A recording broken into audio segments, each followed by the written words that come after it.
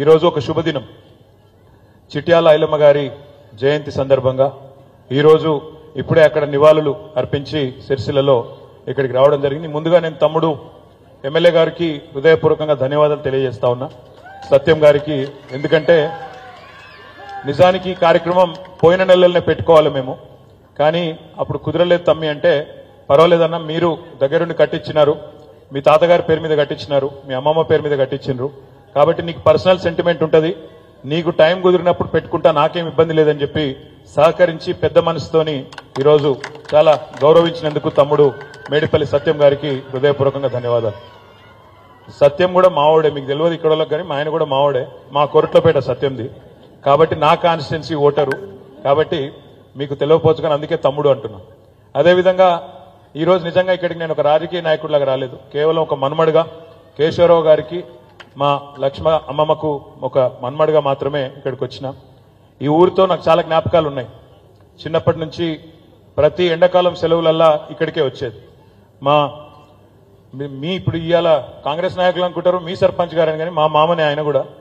వారింట్లోనే వారి తల్లిగారితోనే ఎన్నో సందర్భాలలో ఈ రోజు కాదు మా రుక్కమ్మమ్మ ఈరోజు కాదు నాకు చిన్నప్పటి నుంచి అత్యంత ప్రీతిపాత్రమైన మా అమ్మమ్మ.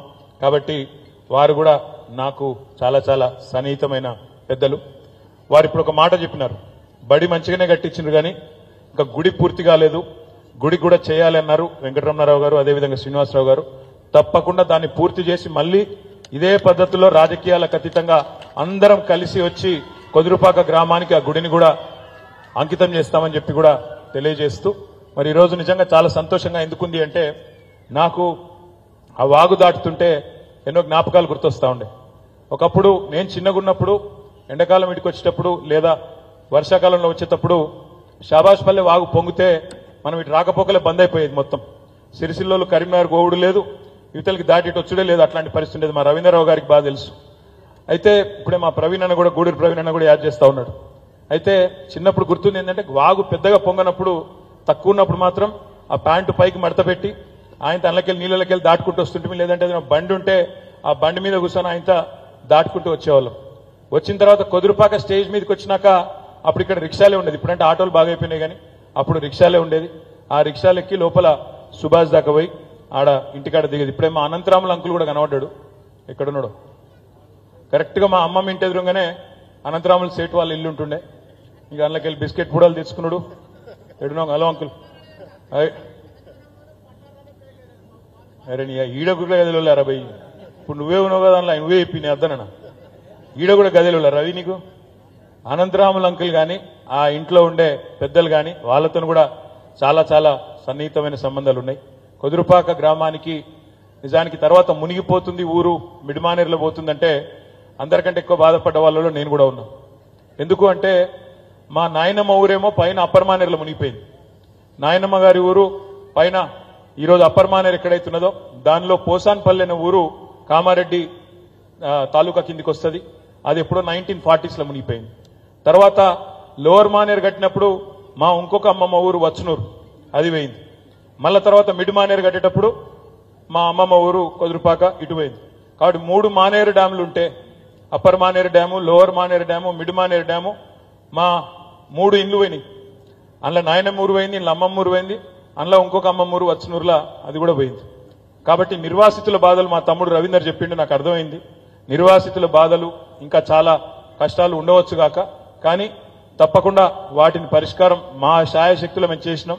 ఏమైనా మిగిలిపోయి ఉంటే ఏమైనా ఇంకా కూడా దొరకని వాళ్ళు ఎవరైనా ఉంటే తప్పకుండా వారికి మరి మీ ఎమ్మెల్యే గారు నేను కూడా కలిసి అవసరమైతే ప్రభుత్వంలో ఉండే పెద్దలతో మాట్లాడి న్యాయం చేయించే ప్రయత్నం చేస్తామని చెప్పి కూడా తెలియజేస్తూ మళ్ళీ ఒక్కసారి అమ్మమ్మ ఊరికి తిరిగి వచ్చినందుకు చాలా సంతోషంగా ఉంది. మీకు ఆకలి అవుతుందా తమ్మి?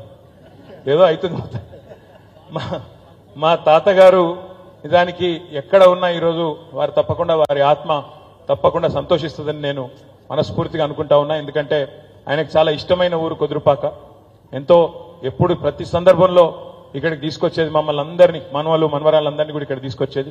అట్లాంటిది వారి జ్ఞాపకార్థం మా అమ్మమ్మ జ్ఞాపకార్థం ఇక్కడ ఇవాళ బడి కట్టినాం. ఇప్పుడు ఎమ్మెల్యే గారు అంటా ఉండే అన్న మరి అమ్మని తీసుకురాలేకపోయినావు అని. అమ్మ కొద్దిగా రాలేదు రాలేకపోయింది కానీ మా మామని పంపించింది. కాబట్టి తప్పకుండా నాకైతే నాకైతే నమ్మకం ఉంది. మా తాతగారి ఆత్మ ఎక్కడ ఉన్నా అమ్మమ్మ గారి ఆత్మ ఎక్కడ ఉన్నా తప్పకుండా వారు శాంతిస్తారని చెప్పి అనుకుంటూ ఇంకా ఏదైనా బడికి కానీ కుదురుపాక ఊరికి కానీ కావాలి అంటే సరే ఇలా నేను ప్రభుత్వంలో లేకపోవచ్చు కానీ తప్పకుండా నా వ్యక్తిగతమైన ఒక మన్మడుగా కొదురుపాక మన్మడుగా ఎల్లవేళలా కొదురుపాకకు అండగా ఉంటాననే మాట కూడా తెలియజేస్తూ తప్పకుండా మళ్ళొకసారి ఈ కార్యక్రమానికి సహకరించిన ఎమ్మెల్యే గారికి అధికారులకి పిల్లలకి ఉపాధ్యాయులకి పేరు పేరున అందరికీ కూడా హృదయపూర్వకంగా నమస్కారాలు ధన్యవాదాలు. గుడి కూడా తప్పకుండా పూర్తి చేసి అదే చెప్తున్నాను గుడి కూడా పూర్తి చేసి మళ్ళొక రోజు ఇట్లా నూకుడు దబ్బులు లేకుండా వేసుకుందాం ఆ ఒక్క రోజున. నూకుడు దబ్బులు లేకుండా రాజకీయాలకు అతీతంగా కలిసిమెలిసి గుడి అంటే దేవుడి పండుగ కాబట్టి ఆ రోజు మంచిగా సఖ్యతగా చేసుకుందామని చెప్పి తెలియజేస్తూ ఆ రోజు గుడి కట్టిన రోజు ఊరోళ్ళందరికీ భోజనం పెట్టించే బాధ్యత కూడా నేనే తీసుకుంటా అని చెప్పి కూడా తెలియజేస్తూ. మీరు పెడతారా? గో మీరు పెడతారా? నేను పెట్టాను. మా మామ భోజనం పెడతా ఉంటాం అతను చెప్తలేడు. నేనే పెడతాం మీరు బాధపడకూరి థ్యాంక్ యూ జై తెలంగాణ.